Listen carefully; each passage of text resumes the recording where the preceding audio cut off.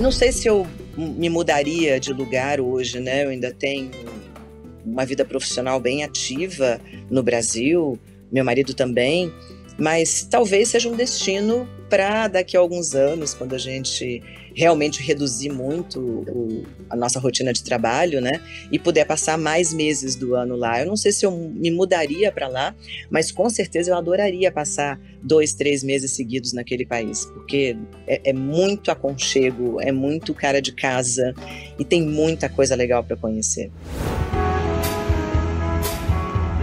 You're can't take my